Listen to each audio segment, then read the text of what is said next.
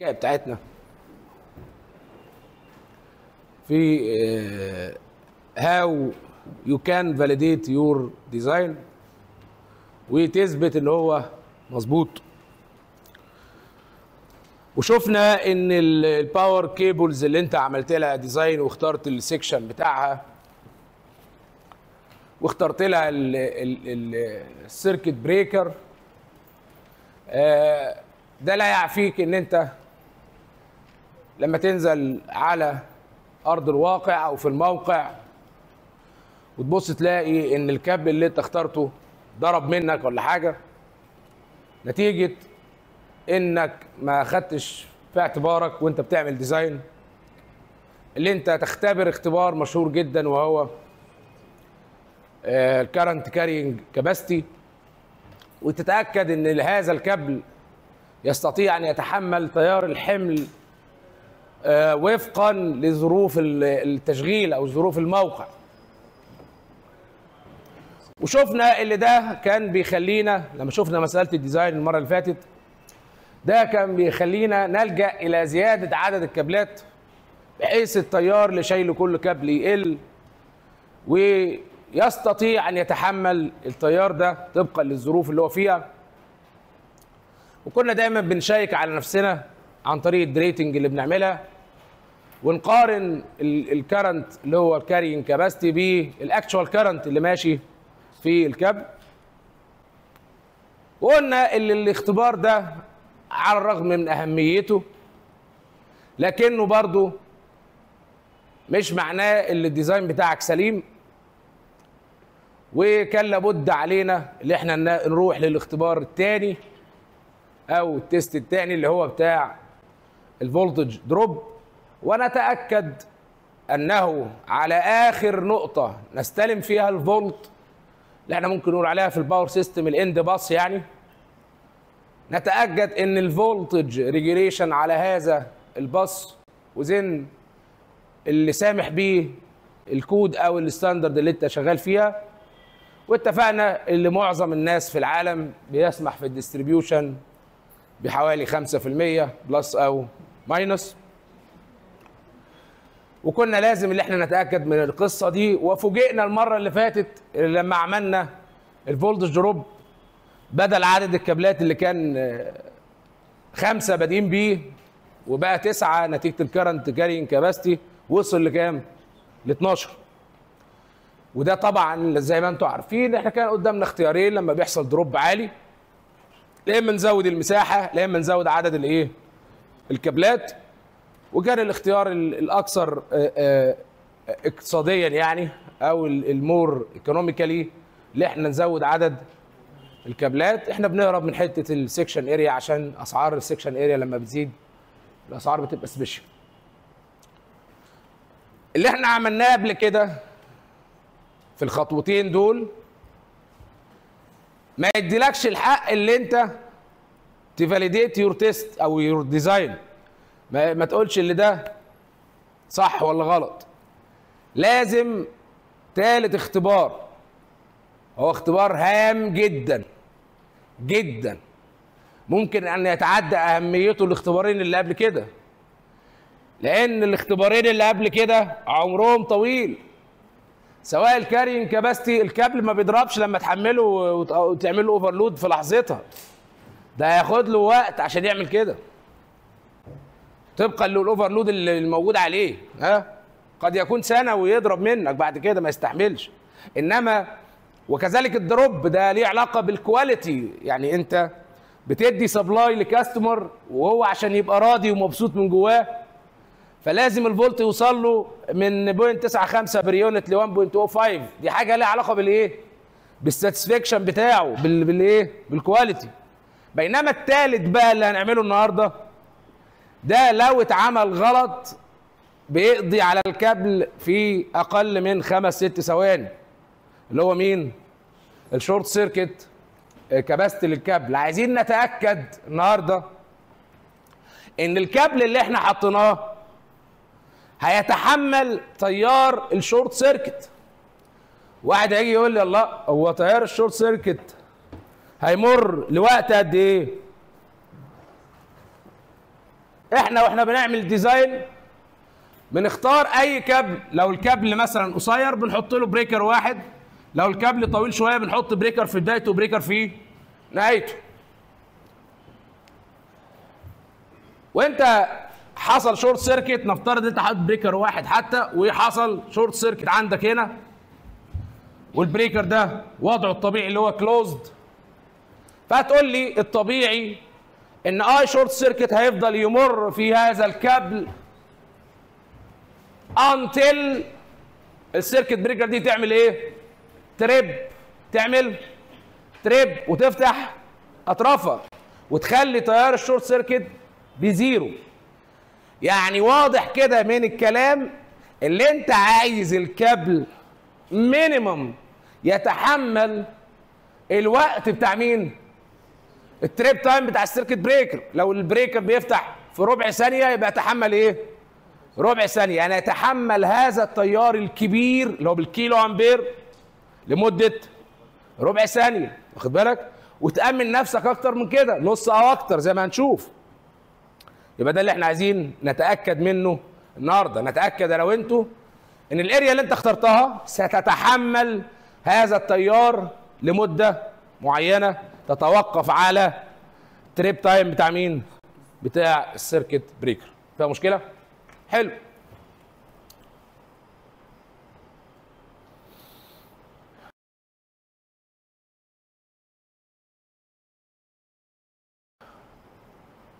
أدي مثال لم- لمحول توزيع 1 ميجا وبيدي اللوحة تحته دي اللوحة اللي خارجة من المحول اللي عادة هيخرج منها أربع كابلات ثلاثة في 240 وبعدين اللوحة بتسلم لوحة اللوحة بتسلم لوحة زي ما إحنا متعودين على شغلنا. إحنا عايزين بقى نعمل إيه؟ عايزين كل الكابلات اللي هي ال circles ال dash دي أو ال- ال ellipse ال dash ده عايزين نتأكد إن كل الكابلات دي لما يحصل عندها short circuit نتأكد اللي هي تتحمل الايه؟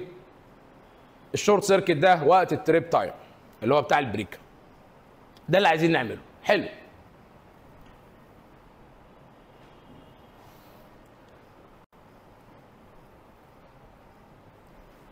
دي الحتة اللي بأكد عليها وأقول لك أنت عشان تعمل القصة دي محتاج تعرف المعلومات دي عن الموقع بتاعك. واحد عايز تعرف إيه ال maximum short circuit اللي ممكن يتعرض له الكابل؟ خلي بالك من الحتة دي. لأن في الكابلات الطويلة اللي بتعمل لها breaker في أولها وأخرها قد تتعرض ل short circuit بعيد عن ال source أو قريب من الإيه؟ من ال source اللي هو بالنسبة لنا المحول. فالكابل اللي خارج من لوحة المحول الكابل ده اللي هو 3 في 240 يبقى خارج عندك كابل 2 3 4 وانت حاطط له ال breaker ات بتاعته اهي وكمل بقى اللوحة بتاعتك. ال short circuit ممكن يحصل في آخر نقطة في الكابل اللي هو قرب ال distribution board اللي بيسلمها المحول اللي بعد كده أو اللي بيسلمها الكابل. وممكن يحصل قرب الايه غرفة المحول أو قرب اللوحة بتاع المحول. في الحالتين التيار ده هيمشي فين؟ هيمشي في الكابل لكن التيار اللي قرب ال supply أكيد أعلى من التيار اللي إيه؟ اللي بعيد عن ال supply. صح ولا غلطان؟ معنى كل ما بنقرب كل ما ال Z اللي بنتعرض لها إيه؟ بتقل. وال short circuit هو V على Z. واخد بالك؟ فيبقى كل ما نقرب ناحية المحول إحنا بنتعرض ل short circuit أعلى. فوأنت بتعمل design رجاء ما تعمليش design على اللي إيه؟ على ال short circuit البعيد إحنا مش هنستقبل. إحنا بنعمل design على ال worst case دايما اللي هو ال short circuit إيه القريب أو اللي في بداية الايه؟ الكابل. كذلك برضو تراعي اختيارك لل circuit breaker. لازم ال circuit breaker اللي هتختاره ي trip يعني أسرع ما يمكن. ها؟ وإحنا اللي بنختار ال circuit breaker ده ونركبه. وليه characteristic. اللي هي ال I V ال I T characteristic بتاعته اللي هي يقول لك عندي current كذا ه ي trip في time كذا. فأنت بتختار بنفسك بس معظم اللي موجود في السوق الحقيقة في ال distribution بيعمل ال- ال circuit breaker على خمسة ستة cycles فما إيه؟ ما بنقلقش منه في في الجزئية دي. وطبعا 5 6 cycles بتتكلم في 100 100 100 مللي يعني 150 ما بيزيدش عن كده. فاللي هو قبل ما ترمش هتكون ال breaker إيه؟ فتح. الحتة اللي هي رقم اتنين دي اللي انت عايز تطمن ان الكابل بتاعك انت مصممه يشيل تيار اعلى كمان من الايه؟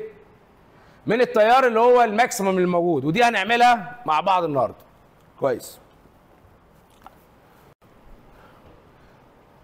دي المسألة بتاع ال ETAP اللي كنا شفناها المرة اللي فاتت وافترضنا ان انت عندك شبكة وبتدي لمحول محول 6 ميجا صحيح وبعدين إيه؟ بتدي الحمل وانت بتحسب ال short circuit في كل الأماكن المحتملة في كل الأماكن الايه المحتملة. طبعا هنا أنت هتلاحظ إحنا دايما بنحسبه على ال buses أو ال distribution board نظرا لأن أطوال الكابلات مش إيه؟ مش كبيرة إلا في بعض الأحوال زي ما هنشوف النهارده لما طول الكابل بيكبر لا بنحسبه على بداية الكابل ونهايته عشان نطمن على الفكرة بتاع ال short circuit level.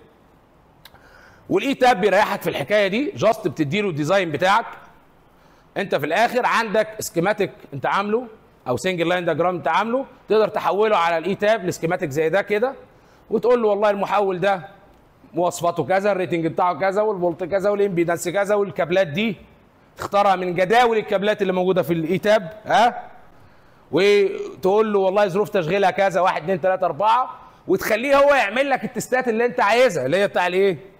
ال carrying capacity وال drop كل الكلام ده يقدر يعمله لك واخد بالك؟ وبطريقة exact وبطريقه exact بدل ما تعمل انت تشتغل بإيدك بطريقة approximate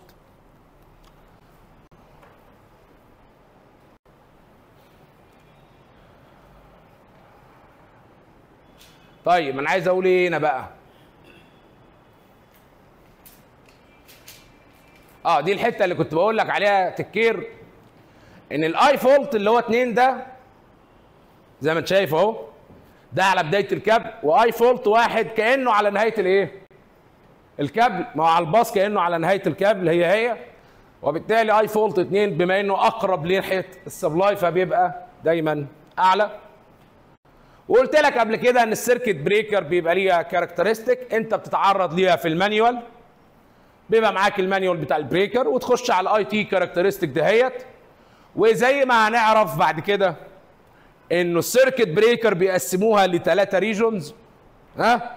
سيبك من ال region اللي في النص دي اللي هي اسمها short delay اللي هي هتلخبط شوية دي هتكلم عنها المحاضرة الجاية. إنما ال region الأولانية دي اللي بيسموها long delay protection region ال region دي مسؤولة عن التيارات اللي بيحصل عندنا فيها overload ها؟ وإنت عارف لما بيحصل overload إحنا بناخد مدة عشان تفتح أطرافك. فتبص تلاقي فعلا لو جيت عند أي نقطة ووقفت هتلاقي ال time كبير. time كبير قد يكون بالأيام لو ال overload صغير. وزي ما قلت لك إن أنت يهمك في الآخر إن ال breaker دي تقوم بواجبها. يعني هي مدياك curve زي اللي قدامك ده أجي أشغلها ألاقي ال curve ده يتحقق. وعشان كده وإحنا بنستلم في لحظات ال commissioning اللطيفة اللي انت بتستلم فيها من المورد هذه اللحظات السعيدة بتعمل اختبارات على ال breaker ات اللي بتوصل لك. يعني انت عندك آلاف ال breaker ات موجودة في الموقع. فبتعمل لها كام اختبار؟ أنا عارف اللي في شركات ليها reputation عالي في السوق وليها آه، آه، أداء معروف وبتاع بس إحنا ملناش دعوة بالكلام ده وخصوصا في المواقع المهمة. إحنا بنعمل برضو اختبارات لل breaker وإحنا بنستلمها. نتاكد إن هذا ال I t characteristic سيتحقق في الواقع بمعنى أنه إذا تعرض ال circuit breaker لتيار X هيفتح في time t ما يبقاش t minus أو t إيه؟ plus وعشان ندي سماحية كده كده المصنع بيقول لك يا عم بحبح الدنيا وخليها 10% plus minus ولا 20% ماشي. فهو بيديك limits ليه أو بيديك سماحية لل للأرقام ما تبقى ال sharp يعني. واخد بالك؟ يبقى في error يعني plus أو minus المهم اللي هي تقوم بالواجب. وأهم حاجة أهم واجب عندها هو واجب ال short circuit اللي هو آخر region ده. لو لاحظت هتلاقي ال time بتاعه صغير جدا. بيبقى 100 مللي لا يتعدى الرقم ده تقريبا. كويس. آدي الإيه؟ ال circuit breaker آدي الحتة بتاع ال 100 مللي اللي أنا بقول لك عليه ونسأل سؤال ونقول لك طيب أنا دلوقتي حسبت ال short circuit في كل مكان محتمل في الشبكة بتاعتي. وعرفت ال short circuit الصغير والكبير والى اخره قول لي في بداية الكابل قول لي في نهاية الكابل قول لي عند ال distribution board والكلام ده كله. عملناه. هعمل إيه بعد كده يعني انت تفتكر اعمل إيه؟ ما أنت عرفت ال short circuit current صح؟ بما إنك عرفت ال short circuit current فأنت ده مكافئ إلى إنك تقريبا عرفت ال Z short circuit. صح؟ لأنه ال V على Z هي ال I فأنت عرفت ال I خلاص. فكأنك عرفت مين؟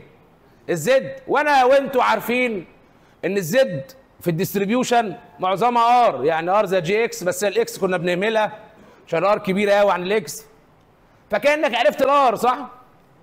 فال R اللي هي rho L على area وأنت عارف طول الكابل ونوعه يبقى كأنك عرفت ال area أنهي area بتاع الكابل المكافأة لمين؟ ل Z short circuit. المكافأة لمين؟ لتحمل هذا التيار. وبالتالي عرفت area بيسموها بتوع التوزيع area short circuit وهي ال area التي لابد أن يتخطاها ال area الحقيقية بتاع الكابل يعني لو قلت لك ال area short circuit طلعتها 150 مللي متر مربع فلازم الكابل اللي هتستخدمه يبقى أكبر من كام؟ من 150 عشان يقدر يتحمل هذا الكلام. فالمصنعين يريحوك بقى يقول لك إيه طب خلاص. أنت عرفت لي ال short circuit current كتر خيرك. هتدخل بيه في جداول.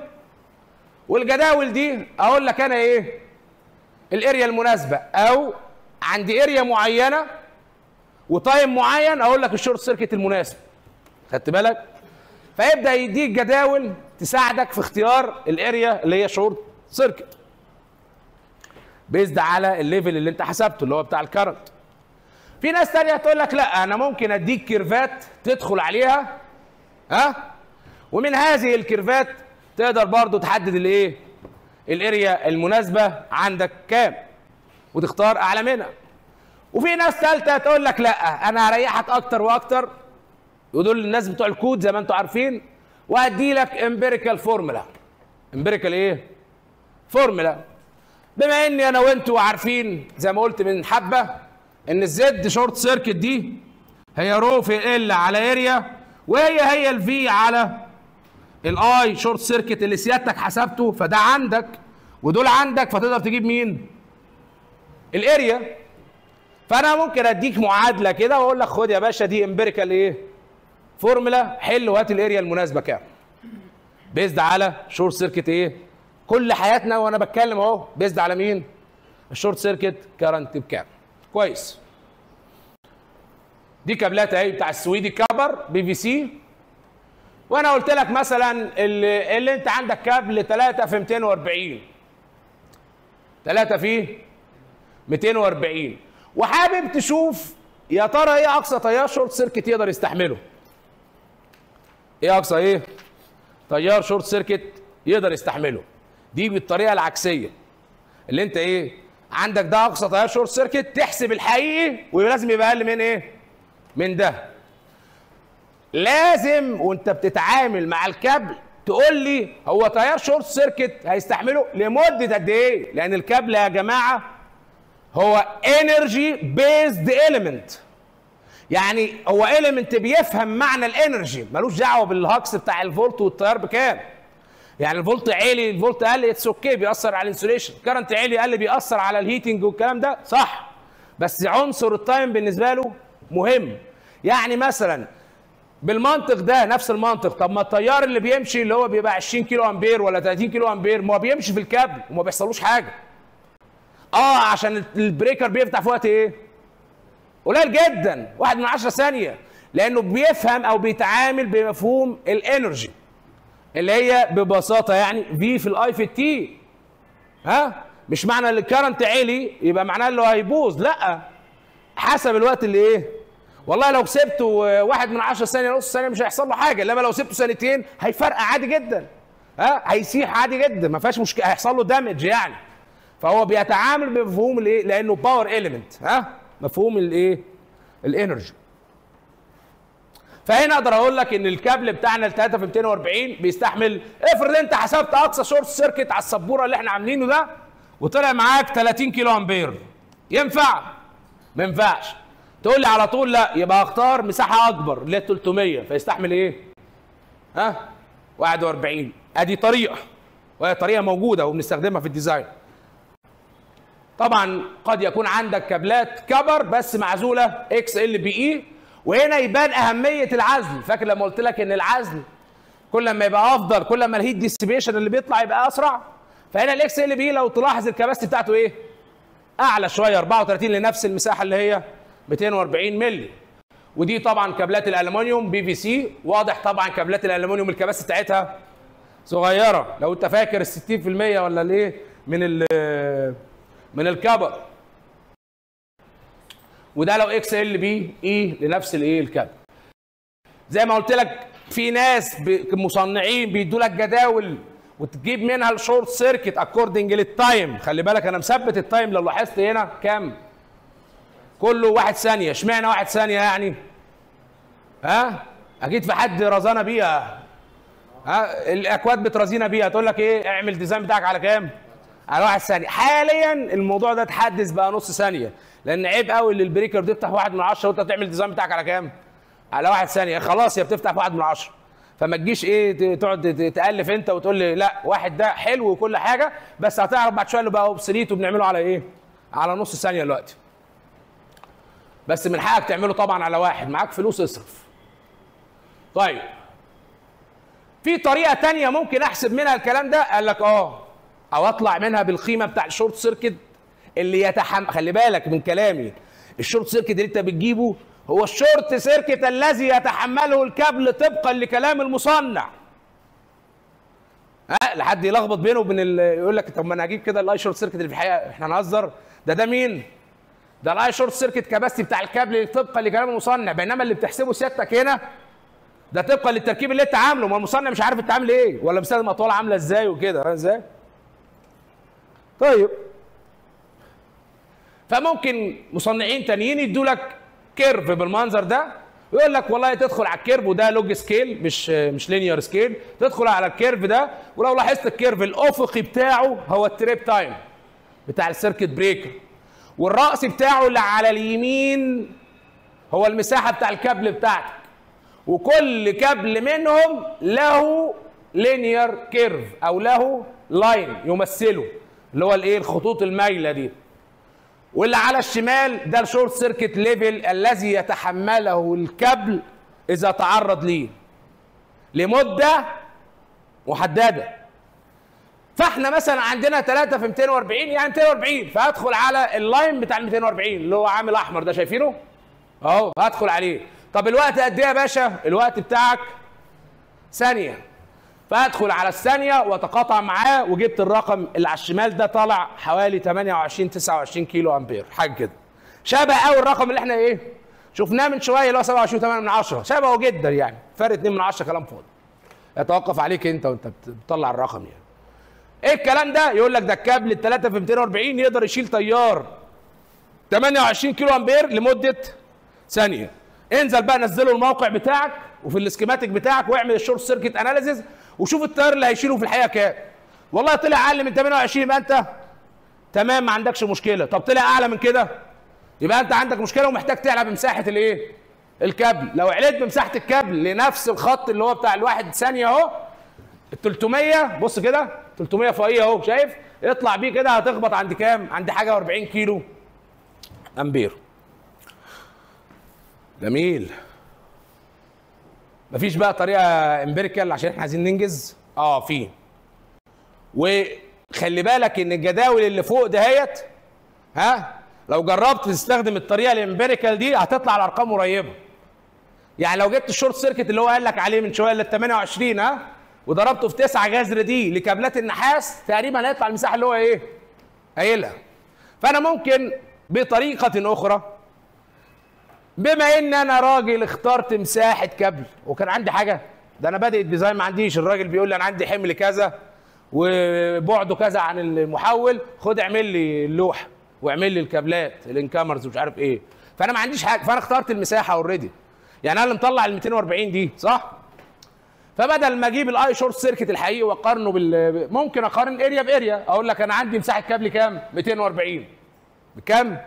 240 طب طبقا للتيارات ال- ال short circuit capacity بتاع الكابل ممكن أحسب له ال area المناسبة؟ آه طبعا. منين من المعادلة دي. وجاية منين المعادلة دي؟ من ال exact يا باشا. rho L على area بيساوي V على إيه؟ على I. واخد بالك؟ فأقدر أجيب معادلة هنا للايه أهي. 9 جذر t مضروب في I short circuit. ده لل copper. وللالومنيوم ها؟ 14 و2 من 10 جذر t مضروبة في مين؟ في ال I short circuit يبقى دي ال area بتاع ال copper ودي ال area بتاع الايه؟ بتاع الألومنيوم لو عايز تحسبها طب عشان تحسبها لازم تعرف مين بقى؟ ال I short circuit بكام؟ واخد بالك؟ فلازم تنزل بقى في الرسمة بتاعتك اللطيفة دي أو الشبكة بتاعتك وتطلع بالإيه؟ بال I short circuit وتعوض في هذه المعادلة عشان تدي لك إيه؟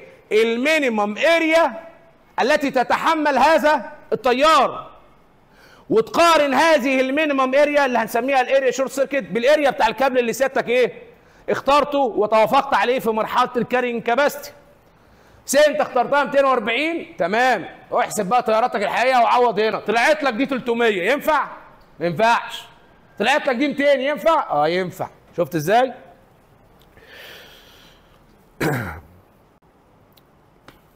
جميل. السؤال بقى اللي هنسأله لنفسينا دلوقتي. وإحنا بنحسب تيارات ال short circuit وأنا عارف أنتوا خدتوا في ال power system short circuit analysis صح؟ صح ولا لا؟ وبتعرفوا شاطرين قوي في حسابات الايه؟ ال short circuit. يعني تقدر وهتقول لي هي مش صعبة مش كيمياء يعني. ما انت عندك Z وعندك V. وحسب ما مكان ال short circuit فين هعرف احسب ال Z بتاعته واقول لك V على إيه؟ على Z. يعني لو أنا شغال على حاجة زي دي وقلت لك ال short circuit على ال 11 كيلو فوق هتقول لي والله يبقى المصدر قد يكون المصدر المصدر وهو كده substation أو ring من substation المصدر بتاعي في الآخر له impedance اسمها إيه؟ X صح كده ولا أنا غلطان؟ X S أهو بتاع ال source طبقا لمين؟ Thevenin عمو Thevenin قال لك كده. قال لك أنا ممكن أشيل ال source وأحط مكانه إيه؟ impedance وفولت أدي ال impedance وأدي الفولت الفولت مش هنعمله كده بقى زي العيال الصغيرة عشان إحنا كبرنا فهنعمله كده أهو. أنت فاهم اللي ده الايه؟ الفولت خلاص وأدي ال impedance وأنت قلت له إن ال short circuit حصل على الباص بتاع ال incomer بتاع ال transformer. أهو. خلاص. فأصبح عندك Z short circuit مين؟ هي ال X S نفسها. وبالتالي تقدر تقول V على حسب الفي اللي انت عنده 11 كيلو ولا التاني على إيه Z طب واحد يجي يقول لي لا ده حصلت عند ال outgoing بتاع ال transformer الكابلات اللي خارجة من الايه؟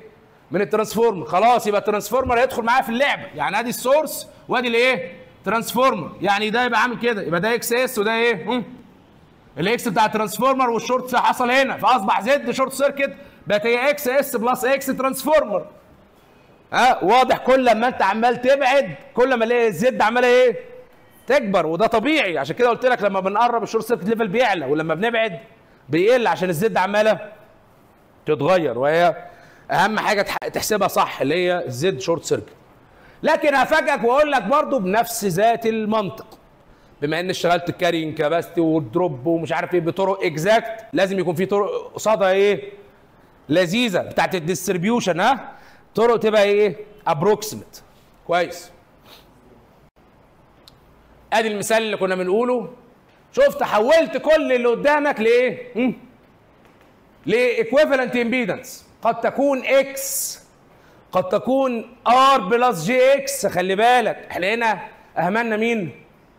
أهملنا ال R ات. هو ده مش حقيقي اللي أنت تهمل ال R ات. يعني بعد شوية لما ناخد المثال هن- هنقول يعني هنقول اللي فيه ار وفيه إكس واخد بالك؟ خصوصا في الديستريبيوشن ما بنعملش الآر بالذات بتاع الكابل مثلا. ما ينفعش نعملها لأن أنت عارف هي كبيرة أصلا. إنما ممكن فوق في الميديوم والهاي نعمل الآرات طبعا. ونشتغل كله إيه؟ إكس بس إكس إل أو إكس سي. طيب يبقى حولنا كل الكلام ده لايكويفالنت امبيدنس واكوردنج للمكان بتاع الشورت سيركت هتقدر سيادتك تحسب الإيه؟ ال Z short circuit بتاعتك بكام؟ ركك حسبت ال Z short circuit تقدر تجيب ال I لأن ال I هو V على Z. أهو من هنا. ال I هو V على Z. وهنا بديك أمثلة. بقول لك لو العطل عند المحول لو العطل بعد المحول لو العطل مش عارف إيه وهنقعد إيه نعيش مع الأخ ده شوية. أهو. لو العطل عند التغذية الرئيسية لو العطل عند المحول وهكذا. طيب. بما إنك هتشتغل exact يعني إيه exact يعني عايز تجيب ال equivalent impedance بتاع كل source أو transformer أو كابل بشكل exact طالما هتعمل هذه الحركة لازم تتبع هذه الخطوات اللي أنا هقولها. واحدة واحدة كده. أنت محتاج تحسب ال XS بتاع مين؟ بتاع التغذية بتاعتك. اللي هو بالنسبة لك أنت مش شايفه. التغذية ده رينج من substation أو substation أنت مش شايفه قدام عينك. بس هل نقدر نحسبه؟ آه نقدر نحسبه. إزاي نحسب ال X بتاعته؟ بالقانون بتاعنا اللذيذ اللي هو V على I برضه صح؟ V على I أو أقول لك V square على على ال S بس take care يا بطل. take care يا بطل من الحتة دي. إن خد بالك إن لحظات ال short circuit لما تحصل التيار اللي ماشي ده هيبقى I إيه؟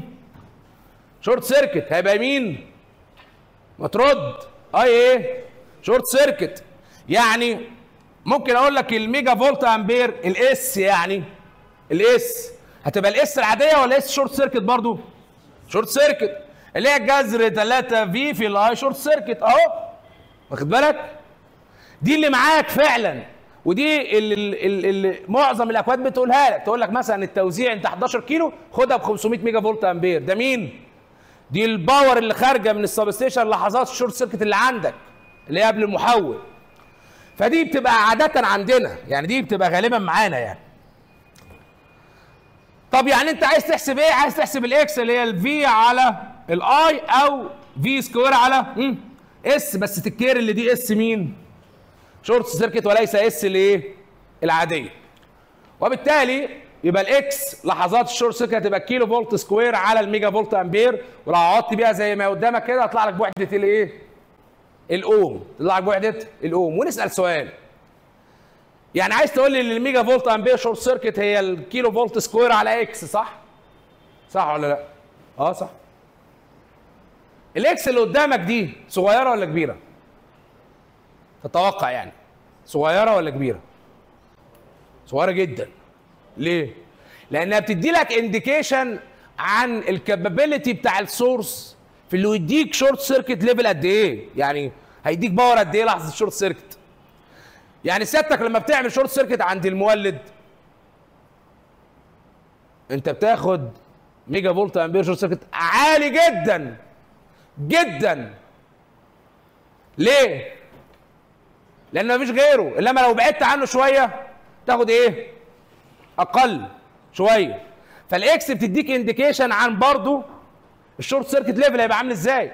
فعلا لما بنقرب ناحية ال substation ال short circuit level إيه؟ بيعلى أو نقول ال capability بتاعتها اللي هي تديك وده أقرب للمنطق لأنك بتقرب ناحية المولد أصلا. فال Xs دي بتبقى عادة إيه؟ صغننة واخد بالك؟ بس تقدر تحسبها بالمنظر ده. وهنا هتلاقي بقى أرقام يقول لك اللي إحنا بناخدها ك average value 500 ميجا فولت أمبير لل 11 كيلو فولت. وده جدول بيديه ال IEC وعلى فكرة الكود المصري برضو بيشتغل بيه. يقول لك والله لو حابب تعرف ال X وال R على جهد طبعا ال IEC خلي بالك بيشتغل ما بيشتغلش على جهد ال 11 بيشتغل على جهد كام؟ 12 و6 التوزيع بتاعه. إحنا شغالين على جهد كام؟ 11 فلما تبص للقيم اللي قدامك دي ها هتبص تلاقي ال 500 قصادها كام؟ point 3 تيجي تحسبها أنت مع نفسك تلاقي أقل من كده شوية. نظرا للجهد بتاعنا غير الجهد إيه؟ بتاعهم لكن الكود المصري شغال برضه بإيه؟ بال- بالجدول ده. فممكن الأكواد تريحك وتقول لك والله أنت substation خد ال X بتاعته أهي. ما تقعدش تفكر. خد ال X وحطها زي ما هي. تمام؟ عندي جهد كام؟ 11 خدها وحطها. اللهم إلا لو معاك أنت ال layout بتاعتك ومعاك ال schematic بتاع المشروع وعارف كل حاجة فيه ومدخله على ال ETAP خلاص انسى الايه انسى الكلام ده فانت عارف الحقيقة فيها إيه. كويس؟ نفس المنطق لل transformer. عايزين نعرف ال X equivalent لل transformer. أجيبها منين دي؟ من الأشياء اللطيفة اللي هو بيديها لك على إيه؟ على ال name plate يعني مش محتاج تقعد إيه؟ تقعد بقى V square و S ولا أنت ممكن تجيبها كده بس هو بيدالك already على الإيه؟ ال name plate ويقول لك والله ال per unit impedance بتاعت ال transformer ده كذا. وأنا وانتوا عارفين ان ال transformer دايرته عامله كده. في side اللي هو ال low voltage side أو ال high voltage side أنا ما بحبش اسمي primary و secondary سي لو إحنا شغالين distribution فيبقى ده ال medium اللي هو ال 11 كيلو. انت عارف اللي الملف اللي هناك ليه R وليه L وادي ال magnetizing بتاع الكور الاكس ماجنتايزنج وادي الار والال بتاع مين؟ بتاع ال low voltage بتاعك. اللي انت هتستلمه الأربعة من عشرة. فلو أهملنا ال core losses أصلا وأهملنا ال resistance بتاع ال transformer دهيت هتبص تلاقي المحول آل إلى تحول إلى X وهي دي اللي بنحطها لك على الإيه؟ وطبعا شفنا اللي إحنا بنستفيد منها المرة اللي فاتت في ال drop. ناخدها نضربها في ال rating جبت الإيه؟ ال drop على طول. هنا برضه هنستفيد منها اللي إحنا هنعرف القيمة بكام. و take care من النقطة دي إنه ال X دهيت إحنا هتلاقي بتوع التوزيع دايما يقول لك بتبقى بحدود 4 5% 6% ما بتزيدش عن كده. واخد بالك؟ حتى يقول لك من المحولات من 1 ل 10 ميجا إحنا بنتكلم في 4 5% فاحنا بناخدها 5% لو مش موجودة يعني لو انت مش عارفها بس طبعا الكلام ده مستحيل. انت بتبقى عارف ال specs بتاع الايه؟ أنا بتكلم لو مسألة ولا حاجة.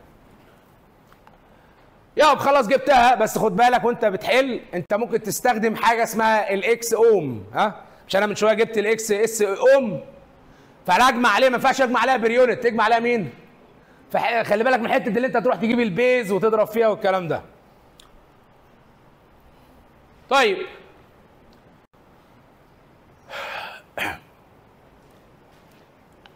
ال IEC لما بيجي يحسب ال Z بتاع ال transformer ممكن يحسبها بنفس القانون اهو V square على إيه؟ زي على S أو ياخد ال per unit على طول ويحسبها. لكن في الكابلات بقى يجي يقول لك إيه؟ آه الحتة دي بالمناسبة بتاع ال transformer آه لو أنت جبت ال Z بتاع ال transformer إحنا بنعتبرها هي ال X ها عشان ساعات ال IEC يقول لك لا ده دي مش الاكس ده دي مين؟ الزد خلي بالك فشفت الرساله بقى تاخد ال Z وتروح بال P copper دي ال P copper losses بيبقى مدالك في ال transformer تجيب ال R بتاع ال transformer ها وتطرح ال R من Z square عشان تجيب الايه ال X الكلام ده حلو وكل حاجة بس إحنا اللي بنطبقه في الحقيقة إيه؟ آه بس دي exact قوي يعني. بس إحنا اللي بنطبقه في الحقيقة X مش يعني الحتة دي المفروض لما تقول الايه ال X هي V square على S ها دي مش الاكس دي مين؟ الزد على اعتبار اللي فيه R و L. إحنا ما أمناش ال R ال R موجودة. طب ال R دي تمثل إيه بالنسبة لنا؟ ال copper losses اللي هي I square R صح؟ ودي بتبقى given على ال name plate يقول لك عند ال full load ال copper losses بكذا. فتقدر تجيبها. يعني ال P copper انت عارفها وعارف ال ال ال ال الراجل ده اللي هو Z. فتقدر من الاثنين دول تقول لي ال P copper هيساوي I square في ال R جبت ال R. فعندك R وعندك Z. تقدر تجيب مين؟ ال X هتطلع قريبة جدا من ال Z. يعني ال R بتبقى صغيرة جدا فإحنا بنهملها. ده ال slide ده وده إيه أهميته يعني. طيب. أنا ممكن بقى ك IEC أريحك. وأديك جدول. تخش تحسب وتوجع دماغك يا باشا. أنا هديك جدول لل S بتاعتك بكام؟ واخد بالك؟ وأنت تقدر منها تجيب ال R وتجيب الايه ال X مش بس وتجيب ال Z short circuit اللي هي النسبة دي شايفها؟ أو ال X per unit اللي بتتكتب على المحول اللي هتشتغل بقى بحسابات الايه ال short circuit. طبقا لمين؟ طبقا لل rating بتاع ال transformer لو انت ملاحظ اخرنا 2 mega ما بنزلش عن 6% إحنا بناخد بنتكلم في من 4 ل 6% وال average بتاعها كام؟ بنقول 5 وبناخدها بخمسة. اللهم إلا لو معاك ال name plate وده الواقع. اللي انت معاك الإيه؟ ال name plate أو معاك sorry ال specs بتاع ال transformer فأنت مش محتاج تقعد تألف يعني. أنت بتاخد الرقم ده من على ال name plate بتاع ال transformer أو من ال specs بتاعته. ينقصنا مين؟ آه إيه ده معلش عشان اقوله. ده الكود المصري ها؟ يدي لك جدول زي ده كده بالظبط. لو لاحظت هو ناقش منه ها؟ ناقش من اللي فوق. بس طبعا هنا على جهد الكام؟ ال 11 فجهد ال 11 قد يختلف بعض الاختلافات. بسيطة يعني. بس ك percentage ما بيختلفش زي ما انت شايف اهو 4% 5% برضه. ينقصنا مين بقى عشان نخلص الكابل؟ ده ال element اللي فاضل وإحنا عارفين الكابل عبارة عن R و X برضو يجي ال IEC ممكن يريحك يقول لك إيه؟ أنت عايز تخلص؟ ماشي. الكابلات اللي أقل من 50 مللي آه دي ال R بتاعتها هي اللي بتبقى كبيرة على فكرة.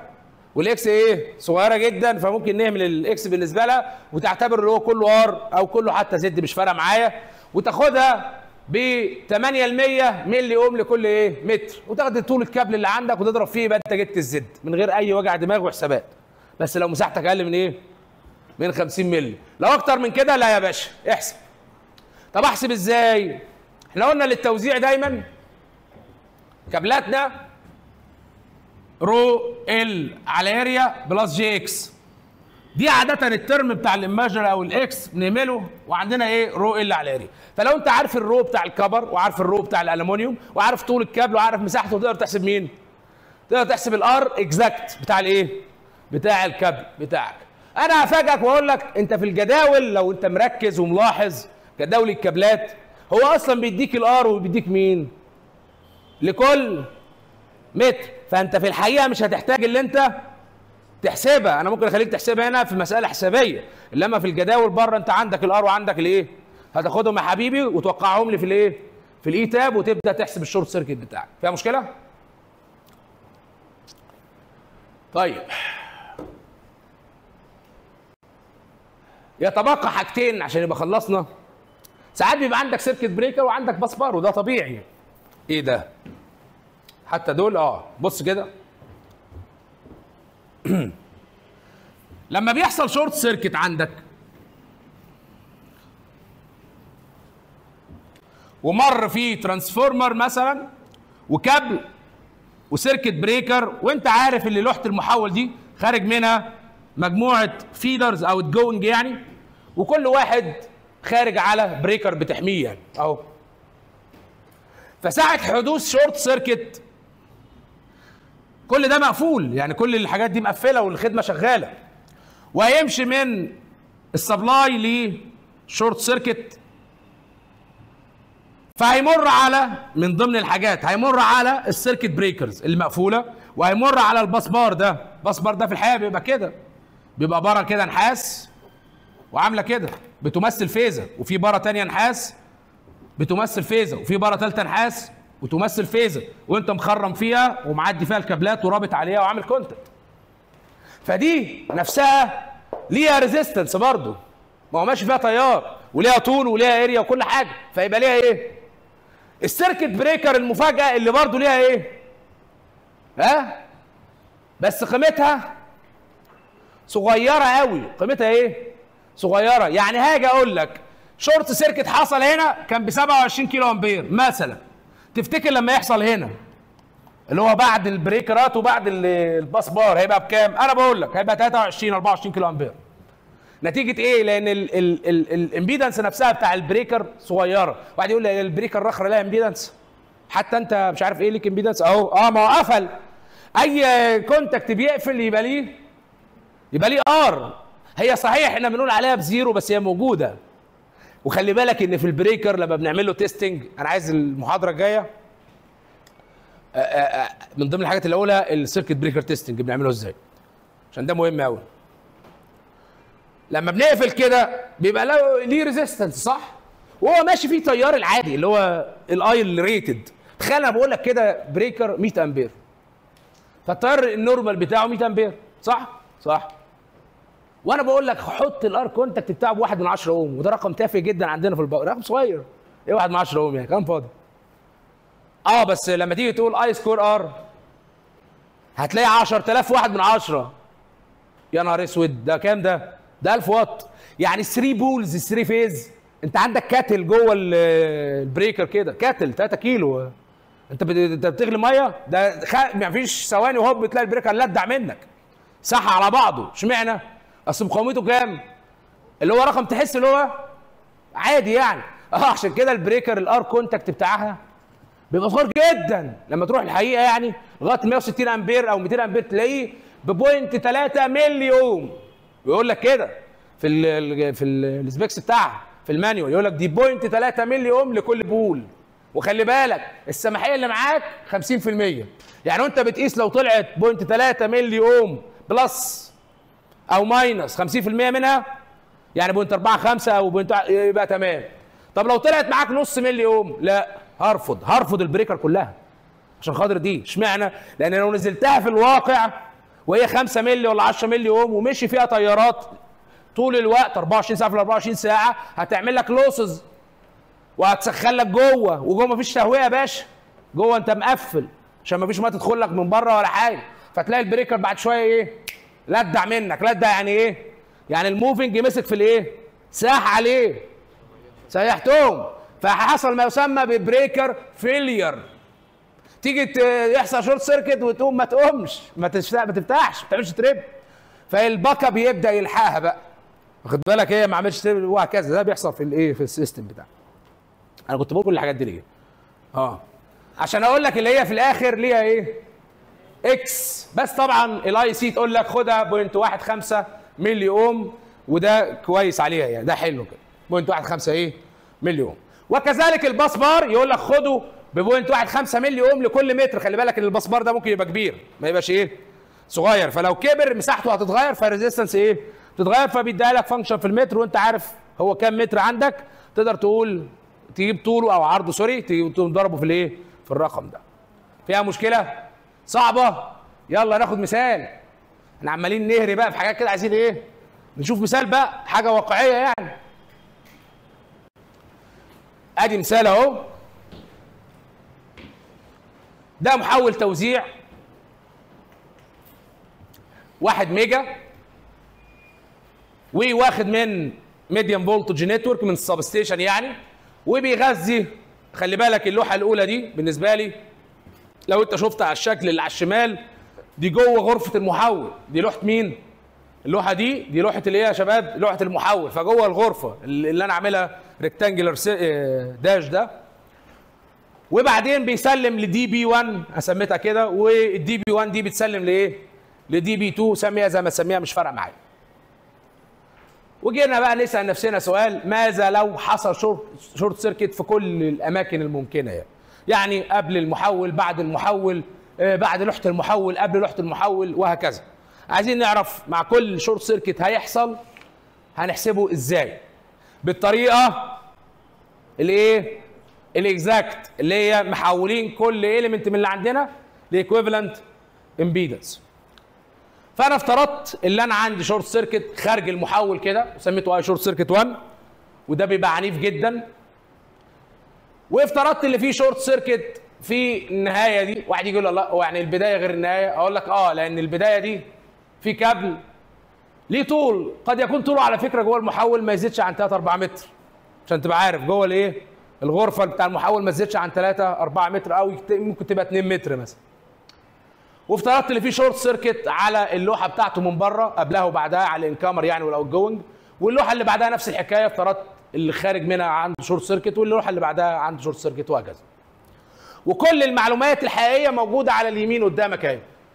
يعني ال transformer ال- ال impedance بتاعته بكذا وال cable losses بتاعته بكذا والكابل مساحته إيه ومش عارف طوله إيه وال main breaker وال bus bar ومش عارف إيه كل الكلام أهو على اليمين. طب يلا ناخد short circuit و- يعني واحد فيهم كده وندي على المثال. أول واحد اللي هو ال I short circuit 1 اللي هو عند خارج المحول. عند خارج الايه؟ المحول. كده لو انت عند خارج المحول فاللي داخل معاك بي supply short circuit مين؟ الشبكة بتاعتك والمحول ذاته. فيبقى تجيب ال R وال X بتوع الشبكة وتجيب ال R وال X بتوع الايه؟ بتوع المحول. R و X بتوع الشبكة دي given في الجداول. أنا جايبها من الجدول بتاع ال IEC أنا مش حاسبها. واخد بالك؟ فال IEC يقول لك 500 ميجا فولت أمبير للفولت الفلاني هتلاقي ال R وال X بتاعتك كذا. خدهم زي ما هم. عندنا الأرقام دي قد تكون متغيرة شوية عشان إحنا شغالين على جهد ال 11 مش ال 12 وكذلك للمحول يعني الرقم الثمانيه ده أنا جايبه من الإيه؟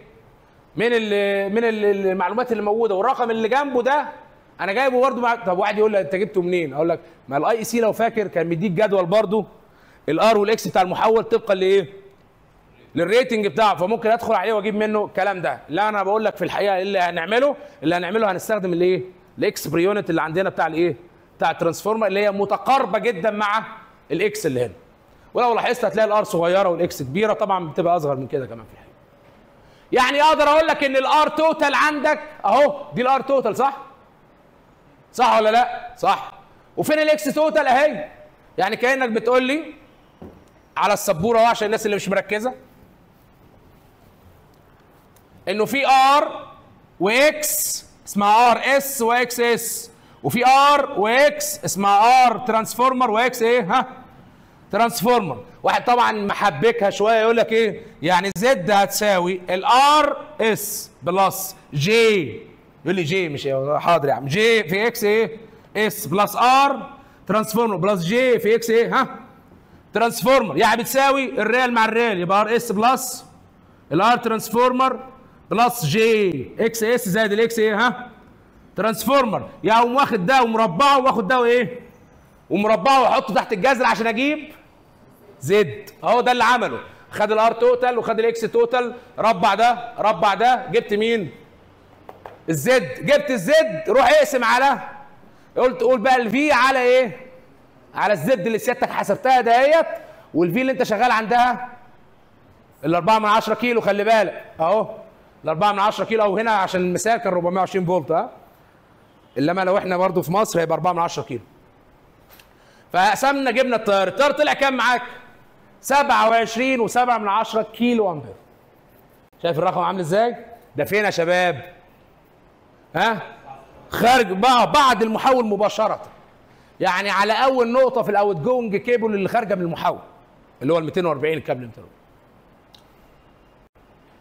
بنفس ذات المنطق. هروح احسب ال short circuit اللي هو 2 اللي هو في نهاية الكابل. ليه ليه بقول لك كده؟ لأنه قال لك ان الكابل طوله كام؟ بص كام ده؟ 5 متر. طوله 5 متر. أنا بتكلم في الحقيقة. 5 متر ده كبير. ده هنا مثال. بس قد يكون هذا المحول ليس وحده في غرفة المحولات.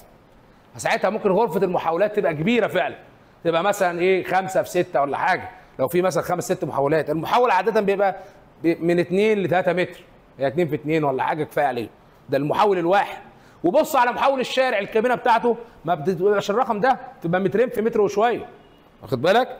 بس ده قد يكون محول جنبه محولات تانية عشان بس إيه من الناس ما, ما تقولش الرقم ده جاي منين. طيب. حصل بقى في نهاية الكابل يعني على بعد 5 متر من المحول إيه اللي هيحصل؟ يبقى هدخل مين بقى معايا؟ ها؟ هدخل الكابل يا باشا. ما هو بص كده. أول ما ده يحصل هتلاقي ال rectangular ده كبر شوية. فال R total تبدأ إيه؟ تكبر. وال X total تبدا برضه أخرى تكبر. فتحسب ال short circuit تلاقي كام بقى المرة دي؟ 26 وحبة. بس إيه اللي مخليه قريب قوي من ال 27 اللي طول الكابل إيه؟ صغير مش كبير. ف 26 كيلو آمبير. طب لو أنت بتعمل design للكابل ها؟ تجيب الإيه short circuit based على ال 26 ولا ال 27 27 طبعا اللي هو ال worst اللي بيتعرض ليه. بالك؟ اللي هو في البداية دايما. بنفس ذات المنطق هروح أعمل short circuit هنا بعد البريكرات وبعد ال bus bar. يعني مين اللي هيدخل معاك؟ البريكرات و ال breaker. إحنا عارفين واحد point واحد خمسة ملي اوم هو هنا بيهمل ال R بتاعته في التوزيع. point واحد خمسة إيه؟ ملي اوم وإحنا عارفين ال bus bar point واحد خمسة في طول ال bus bar صح؟ أو عرضه يعني. فالعرض هنا بتاعه كام؟ 10 متر فهيبقى point واحد خمسة يبقى واحد ونص ملي. يعني دول الاثنين دول هم اللي هينضافوا. أهو. لما يحصل short circuit على خارج لوحة المحول. على مين؟ خارج لوحة المحول. ال outgoing feeders بتاعت المحول. من لوحته أهو. ده اللي هيحصل؟ هتاخد في اعتبارك ال breaker وال bus bar اللي هنا. فتلاقي ال I short circuit قل شوية. 22 ونص. 22 إيه؟ ونص كيلو أمبير. ماذا لو حصل بقى؟ طب هسأل سؤال. ال short circuit اللي هو على ال outgoing feeder ده مش ده في بداية الكابل ده يا شباب؟ الكابل ده هو بيقول لي أنا ما أعرفش هو كان قايل لي في المسألة اللي هو 95 مللي. كابل 95 في بدايته يعني ده. وفي واحد تاني هيحسبه في نهايته الوقت اللي هحسبه الوقت. برضه أنت بتعمل design تعمل design على مين؟ على ال worst بتاعك اللي هو ال 22 كيلو. يعني في نهاية الكابل هدخل معاه الكابل ده هو قال لي 95 مللي وطوله كام؟ 100 متر. أروح أحسب المقاومة بتاعته وال X حسبتهم. اجمع ال R total و X total جبت ال short circuit جديد. طلع كام بقى؟ 7.5 كيلو. واضح طبعا فروق الطول اهي بتعمل إيه؟ كل ما المسافة تبعد كل ما تلاقي الإيه؟ ال level بدأ يقل. بنفس ذات المنطق هعمل short circuit على اللوحة اللي بعدها أو نهاية الكابل ده اللي هو طوله 40 مللي الكابل ال 10 ملم كبر. وأحسب ال R بتاعته وال X بتاعته. وجبت الإيه؟ ال short circuit طلع كام؟ 3 و2 من 10 كيلو. وهلم لك كل حاجة هنا. كده إحنا عملنا ما يسمى ب short circuit analysis بطريقة exact بطريقة إيه؟ exact وجبت كل ال possible short circuit أهو عندي حددت الأماكن بتاعته وجبت كل ال possible short circuit وابدا أسألك بقى.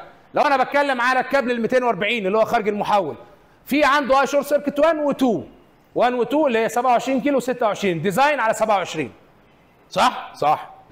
نفس الكلام تحت. short circuit 3 4 design على 3 نفس الكلام تحت. 4 5 design على 4 لكل إيه؟ لكل كابل take care من نقطة طبعا هتكلم فيها المرة الجاية إن ال short circuit اللي أنت حاسبه مش بس بتحسبه عشان خاطر الكابلات. لا وعشان مين كمان؟ ال circuit breaker يا وحش. أنت فاكر ال circuit breaker راح أقول لك دي ب 100 أمبير وانزل إحنا نهزر. لازم تعدل لها إيه؟ ال short circuit capacity بتاعتها وبيدوا لها category A B C D E F ها؟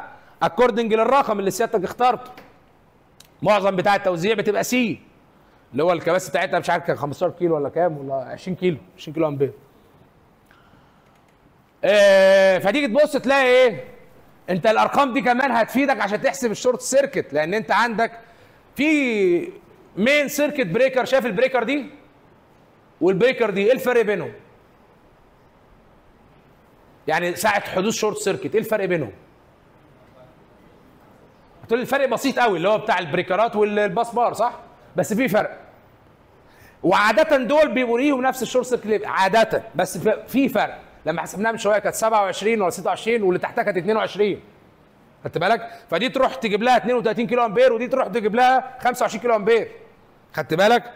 فحسابات ال short circuit هتفيدك بعد شوية كمان في الإيه؟ في اختيارك لل circuit break. طيب. based على الكلام اللي إحنا قلناه أنا هعمل كده بقى. هقول إيه؟ أدي الكابل الثلاثه في 240 وأسوأ تيار اللي هو short circuit 1 اللي هو 27 كيلو وأروح على المعادلة الفورمولا البسيطة بتاعتنا. طلعت تسعة أحط ده بواحد عشان ال standard بتفترضها بواحد اللي هو ال trip time. وبعدين أحط ده ب 27 طلعت المساحه كام؟ آه مشكلة. لأن المساحة اللي عندك كام؟ الهدف 240 روح على طول جيب كابل إيه؟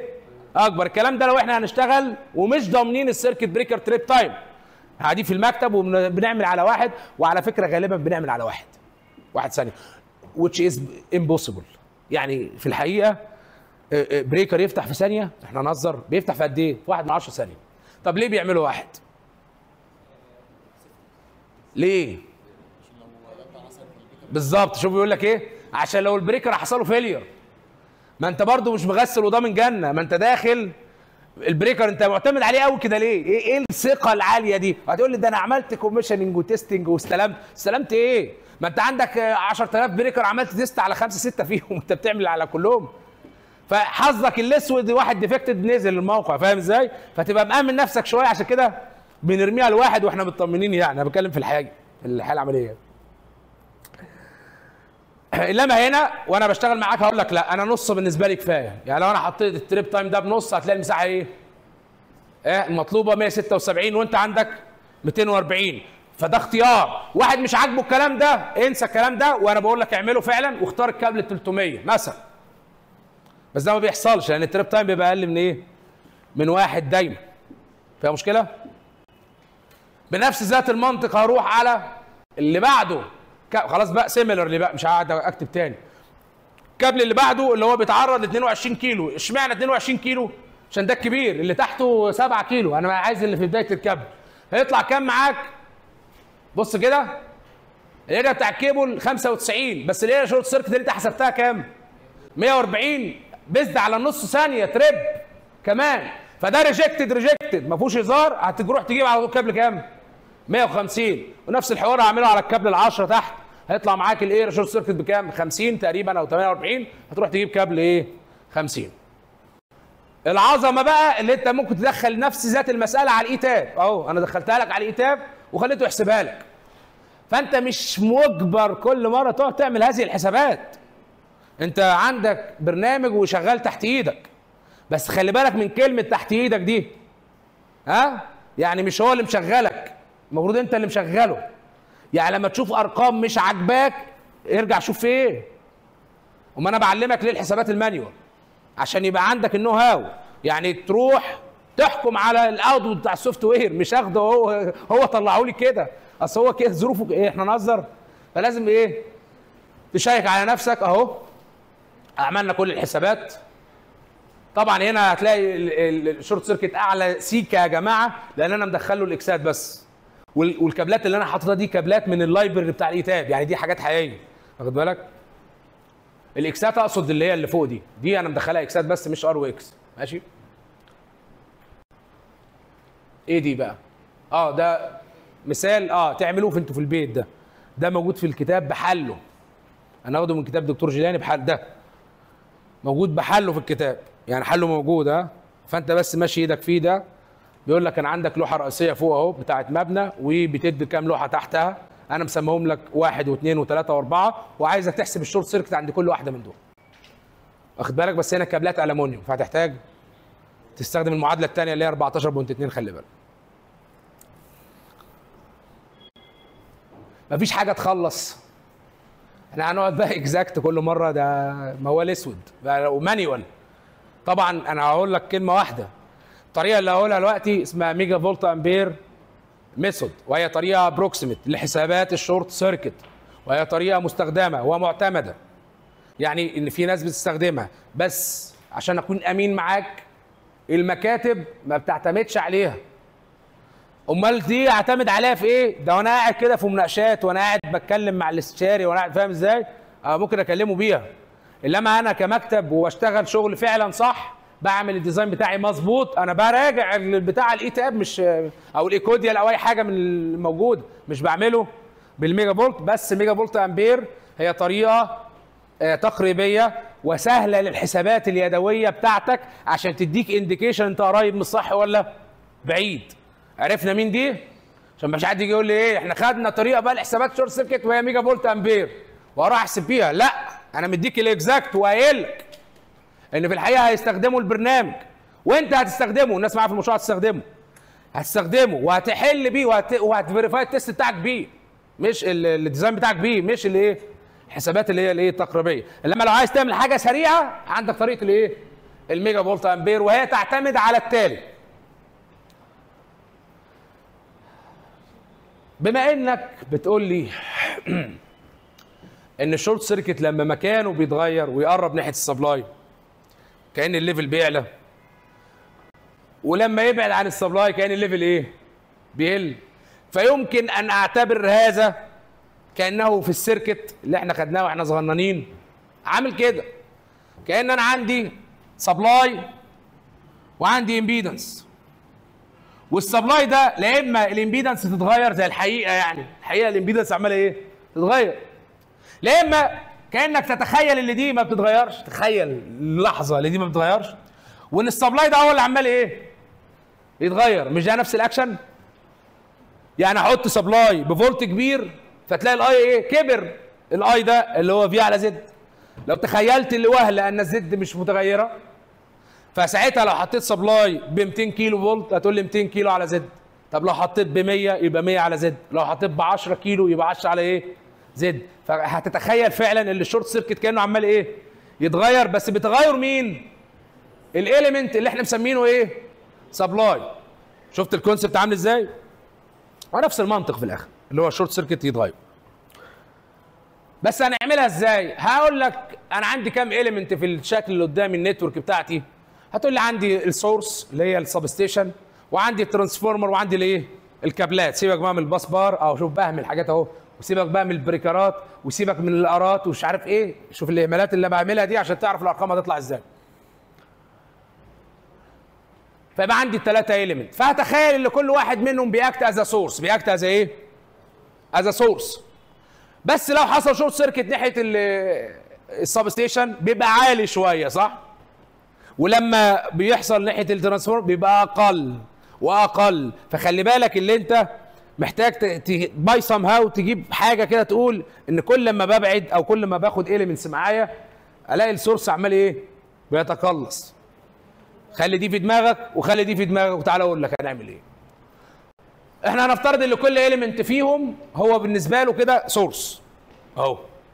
source يقدر يدي لك S يقدر يدي لك S فأنا هقول ال- ال- اللي فوق ده هو source وهيدي لك S بس هي S مين؟ S short circuit. S مين؟ ليه short circuit؟ لأن حصل short circuit عندها. يعني هاجي أقول لك حصل short circuit هنا كده عند ال 11 كيلو. فساعتها يا ترى ال S short circuit هتبقى بكام؟ بدل ما أقول بقى ال I short circuit بكام أقول إيه؟ ال S short circuit بكام. طب أحسبها إزاي؟ قال لك خد ال- ال base بتاعك واقسمه على مين؟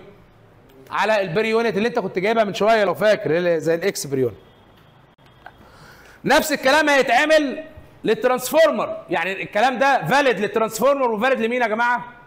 لل source بتاعك. بالنسبة للكابلات يقول لك لا. خد ال V square واقسمه على إيه؟ على الزد خد الفي سكوير واقسمه على إيه؟ على مين؟ على الزد أنا عارف في على زد دي اي في في في في الاي يعني.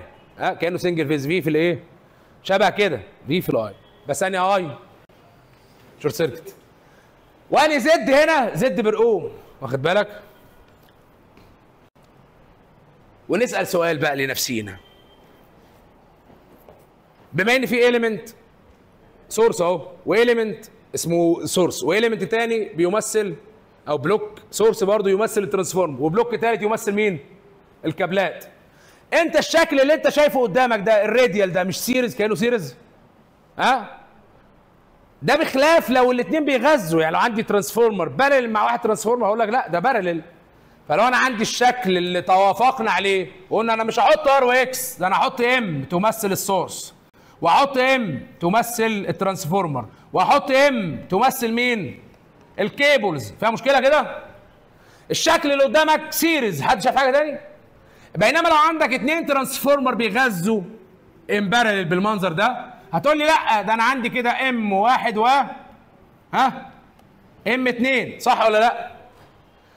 فبالمنطق وهسألك سؤال لو عايز تحسب ال short circuit اللي هنا مش هتقول لي ال S اللي جاي من هنا S واحد وال S ده S اتنين يبقى S total بتساوي S واحد زائد S اتنين. وتقول لي ده بيساوي جذر 3 في V في ال I short circuit وتجيبه؟ أهو لو هما parallel هشتغل بقوانين ال series في المقاومة. فأقول لك إيه؟ اجمع. ال parallel إيه اجمع طب لو هما series هشتغل بقوانين مين؟ ال parallel بتاع المقاومة. أقول لك M واحد M اتنين على إيه؟ فيها مشكلة لغاية دلوقتي؟ طيب حلو. آخد مثال عشان نفهم الدنيا. آدي مثال قدامك. آدي ال network بتاعتك ال 11 بتسلم لمحول 11 ل point 38 ده عندنا في مصر 5% ال per unit بتاعته. والكابلات آه، بيقول لك اللي هي واحد من 100 اوم لكل كيلو متر لكل إيه؟ كيلو متر يعني الراجل مشكور أنا ادالك ال Z بتاع الكيبل عشان يريحك. لا R ولا X ويرجع دماغك. وقال لك إن ال distribution board دي اللي على بعد 200 متر. أهي located at 200 متر from 200 متر from transformer 5 mega خلي بالك. حصل عندها short circuit احسب ال short circuit بطريقة مين؟ ال mega volt ampere. فأنا قدامك عندي كام element عندي الشبكة؟ وعندي ال transformer وعندي مين؟ الكابلات. يبقى كام element ثلاثة يبقى أروح أجيب M واحد وأجيب M اتنين وأجيب M ثلاثة وأستخدم قوانين ال parallel خلي بالك. يبقى واحد على M equivalent يساوي واحد على زائد واحد على and so أجيب ال M دي منين؟ بتاع ال source. هو قايلها لك في السؤال. ومن حقك تاخدها لغاية 500 زي ما قلت لك شبكة ال 11 فهو قايل لك في السؤال اللي هي كام؟ 300 خدناها ب 300 طب M 2 طب لو مديك X مديك X يبقى تقول لي ال mega volt ampere rated على ال X per unit واخد بالك؟ طب ال transformer هي ال mega volt ampere rated بتاعه اللي هي الخمسة على ال X per unit اللي هي given بتاع short circuit هيطلع 100 mega ده ال short circuit بتاعته. طب الكابلات ال kilo volt square على X وإحنا شغالين ناحية ال low يبقى point 3 8 تربيع على ال X دي اضربها في طولها. طولها كام؟ 200 متر أو 2 من 10 كيلو. عشان هو مديلك point واحد لكل كيلو. ها؟ جبت الرقم. ادي الثلاثه بس دي مش ال equivalent. ال equivalent بتاعتهم إيه؟ اهي قانون ال parallel جبته.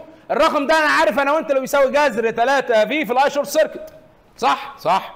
يبقى أخد الرقم وأقسمه. طلع كام يا شباب؟ 55 إيه؟ kilo ampere. شفت الرقم عامل إزاي؟ طب والرقم ده عالي قوي كده ليه؟ لسببين.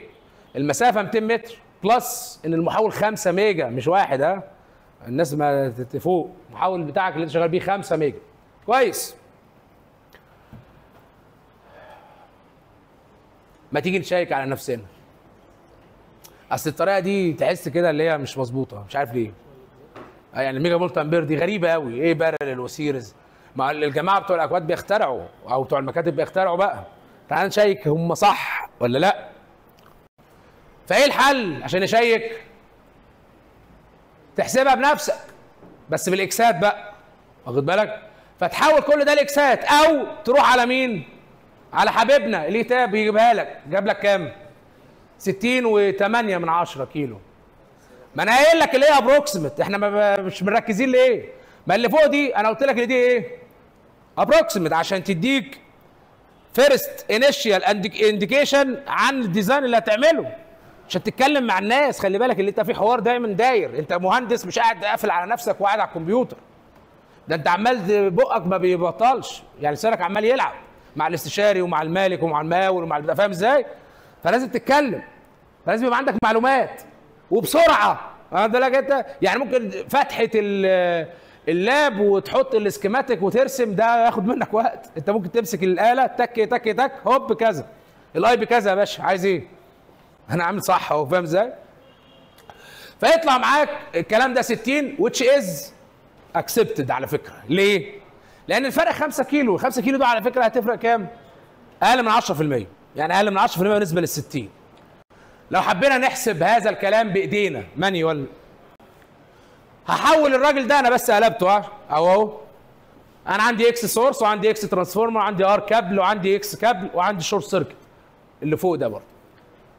هنفترض ان إحنا شغالين على 1 per unit ناحية ال 4 من 10 وأنت عارف ال mega volt ampere short circuit 300 بس هناخد ال base بتاعنا هو مين؟ ال transformer اللي إحنا شغالين عنده وبالتالي ال X per unit بتاعت ال- الأخ اللي فوق ده اتغيرت. واخد بالك؟ احسبها هتطلع الرقم اللي تحت ده based على ال base الجديد. وتحسب بعد كده ال X per unit بتاع ال transformer خلي بالك اللي هي ال 5% دي ده per unit وده إيه؟ ها؟ per unit. يبقى إحنا هنشتغل لآخر مسألة إيه؟ يعني كله per unit. ال Z بتاع الكابل اللي given دي Z أوم. يعني اللي هي 1 من 100 في 2 من 10 دي. فأخدها وأقسمها على مين؟ على Z base اللي انت حسبتها عشان تجيب Z cable per unit اللي على الشمال دي. بص على شمالك. جبتها. وهنفترض ال short circuit حصل زي ما انت شايف كده اهو. بس قبل ما تفترض لو في ناس معقدة زي حالاتي كده فتقول لك إيه؟ دي Z اللي انت جايبها. مش R و X صح؟ طب يا سيدي بص بقى رخامه افترض ال R قد الايه من حقك تفرض أي حاجة طبعا. لو افترضت ال R قد ال X ده تحسب مين؟ من هنا.